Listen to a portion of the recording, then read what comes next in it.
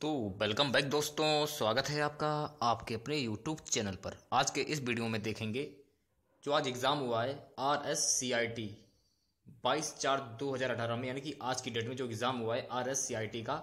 उन्हीं question paper पर discuss करेंगे कि इनमें कौन कौन से क्वेश्चन पूछे गए। तो दोस्तों, बने रही आप लोग मेरे साथ स्टार्ट से एंड तक। और जो मेरे नए दोस्त हैं, जो इस वीडियो को पहली बार देख रहे हैं, दिए गए नीचे रेड कलर के बटन पर क्लिक करें और चैनल को सब्सक्राइब कर लें। बगल में ही आपके बेल आइकॉन होगा, उसको भी दबा दें, इससे मेरे नए वीडियो की नोटिफिकेशन आप लोगों तक आसानी से पहुँच जाएगी। अगर वीडियो पसंद आए तो इस वीडियो को एक लाइक ज़रूर करें और अपने दोस्तों में शेयर भी करें। देखते हैं पहला क्वेश्चन पहला क्वेश्चन ये पूछा गया था कि वी एल एस आई का पूरा रूप क्या है? तो वी एल एस आई का पूरा रूप है very large scale integration next question ये पूछा गया था वर्तमान प्रस्तुति में नई स्लाइड सम्मिलित करने के लिए किस शॉर्टकट कुंजी का उपयोग होता है? तो वर्तमान प्रस्तुति में नई स्लाइड सम्मिलित करने के लिए जो शॉर्टकट कुंजी है, वो है कंट्रोल प्लस एम का उपयोग होता है। ये भी क्वेश्चन आपका पूरा होता है। नेक्स्ट देखते हैं। ईमेल भेजने के दौरान यदि आप अनुलग्नक फ़ाइल संकलन कर रहे हैं तो फ़ाइल हो रही है। तो वो फ़ाइल हो रही है, सर्वर पर अपलोड वो फ़ाइल हो रही है। नेक्स्ट क्वेश्चन निम्नलिखित में से कौन सा विकल्प प्रस्तुति में एक से अधिक स्लाइड का चयन करने में सक्षम है? तो निम्नलिखित में विकल्प, एक से विकल्प प्रस्तुति में कंट्रोल प्लस प्रत्येक स्लाइड पर क्लिक करने की प्रस्तुति में चयन करने में सक्षम है। नेक्स्ट है। डॉट मेट्रिक इंकजेट और लेजर किस कंप्यूटर उपकरणों के प्रकार हैं? तो डॉट मेट्रिक इंकजेट और लेजर ये प्रिंटर के उपकरणों के प्रकार हैं। नेक्स्ट है।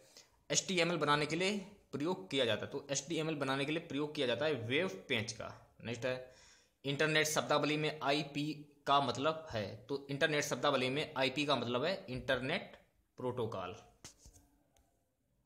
नेक्स्ट है एम एस वर्ड दो हज़ार दस के किस टाइम में हेडर और फुटर विकल्प उपलब्ध हैं? तो एम एस वर्ड दो हज़ार दस में इंसर्ट टैप के हेडर और फुटर विकल्प उपलब्ध हैं। नेक्स्ट है एक सेवा मॉडल है जिसमें डाटा अनुरक्षित प्रतिबंधित दुर्दशा रूप में बैकअप और नेटवर्क पर उपयोगकर्ताओं को उपलब्ध किया जाता है। तो वो है क्लाउड स्टोरेज, जिसमें डाटा अनुरक्षित प्रतिबंधित दुर्दशा रूप में बैकअप और नेटवर्क पर उपयोगकर्ताओं को उपलब्ध किया जाता है। ये भी क्वेश्चन आपका पूरा होता है, नेक्स्ट देखते हैं। निम्न में से कौन सा बोर्ड का वैध उदाहरण है? तो जो बोर्ड का वैध उदाहरण है वो है पेटीएम नेक्स्ट है। एंड्रॉयड का एक उदाहरण है तो एंड्रॉयड का एक उदाहरण है ऑपरेटिंग सिस्टम नेक्स्ट क्वेश्चन है कि फ्लो चार्ट क्या है?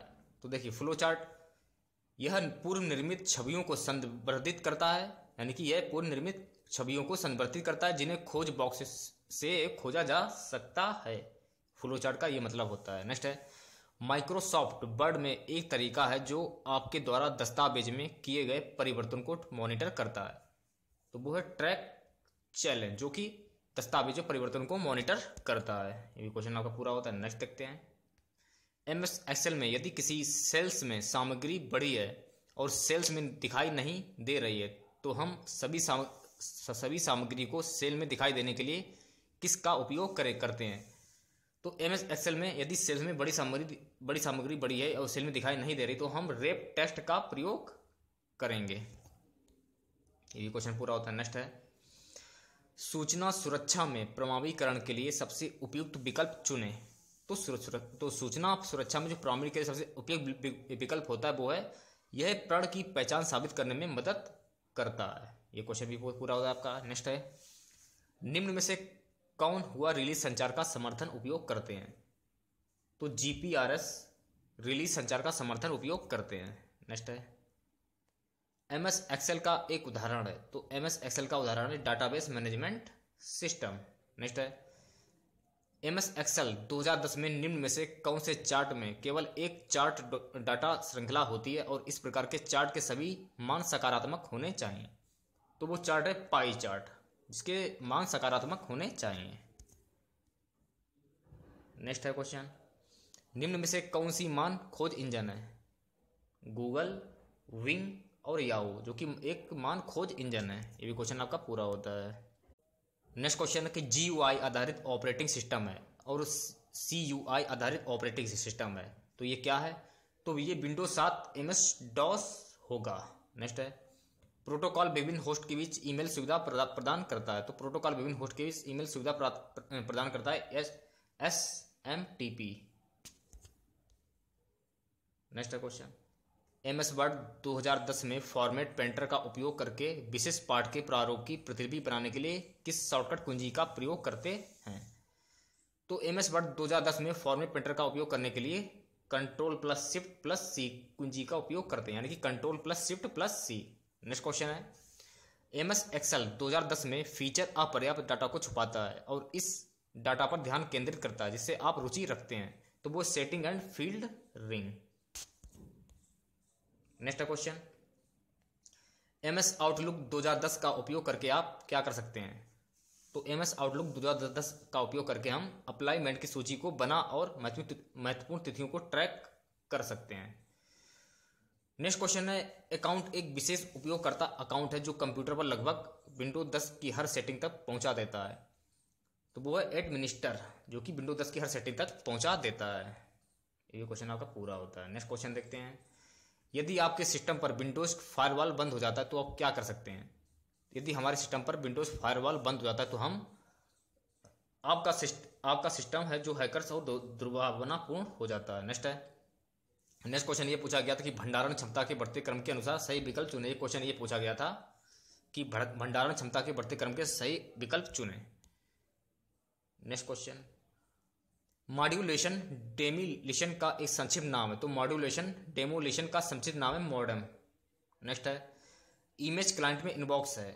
एक क्वेश्चन ये पूछा गया तो उनमें आंसर होगा। उपयुक्त में से कोई नहीं। सबसे लास्ट क्वेश्चन है इस एग्ज़ाम का। M S DOS window command और यूनिक्स लिरिक्स लिनिक्स कमांड का वर्तमान डायरेक्टरी में उपलब्ध डायरेक्टरी फाइलों की सूची के लिए या फ़ाइल के बारे में जानकारी पाने के लिए करते हैं। फिर से रिपीट कर रहा हूँ।